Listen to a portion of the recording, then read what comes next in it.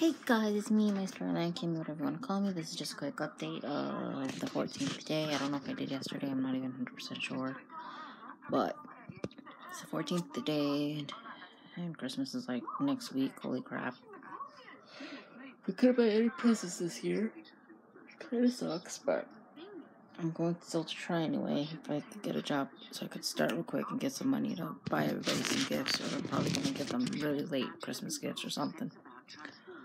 Um, my friend just put out a video. The band is called The Rose Below, but I'm gonna put a link down in the description box so you guys can go check it out. Subscribe to them, subscribe to me, comment, right, whatever you want to do. Right now, I'm watching a show called Real Stories about a boy called Chucky or something like that. Um, trying to look for work and it's being pain in the rear. Right now, I'm waiting for the maintenance guy to come so he could fix the trains and fix whatever he has to fix because it's like really ridiculous right now. There's like a crack on the wall, which was not because of us. But I'm gonna talk about that. I'm gonna tell about the thing in the ceiling though, in the hallway. Also the vegetable crap. Um, hmm, what else?